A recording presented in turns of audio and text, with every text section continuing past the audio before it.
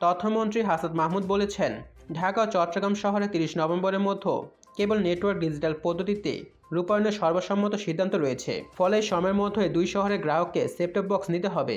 তা না হলে কেবল টেলিভিশন দেখার ক্ষেত্রে ব্যত্যয় হবে। রোববার দুপুরে সচিবালয় তথ্য সম্প্রচার মন্ত্রণালয় সভাকক্ষে association of television channel owners এবং কেবল ডিস্ট্রিবিউটর অপারেটরদের প্রতিনিধিদের সঙ্গে বৈঠক শেষে সাংবাদিকদের এ কথা বলেন তথ্যমন্ত্রী। তিনি বলেন, দেশে টিভি কেবল নেটওয়ার্ক ডিজিটাল হলে টেলিভিশনের দর্শক মালিক, কেবল অপারেটর সহ সবাই উপকৃত হবেন।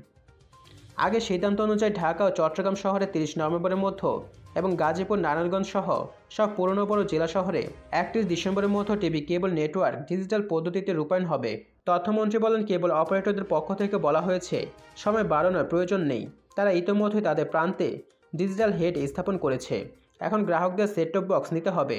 শহরগুলোতে গ্রাহকদের সেটটপ বক্স না থাকলে টেলিভিশন দেখার ক্ষেত্রে ব্যত্যয় হবে। সহজ কিস্তিতে সুলভ মূল্যে কেবল অপারেটররা গ্রাহকদেরকে সেটটপ বক্স সরবরাহ করবেন। তিনি বলেন, ডিজিটাল বাংলাদেশ হয়েছে। কিন্তু দুঃখজনক হলো সত্য যে কেবল নেটওয়ার্কিং সিস্টেম এখনও ডিজিটালি হয়নি। তথ্যমন্ত্রী আরও বলেন, ডিজিটাল হলে গ্রাহকরা আরও ভালোভাবে টেলিভিশন দেখতে পারবেন।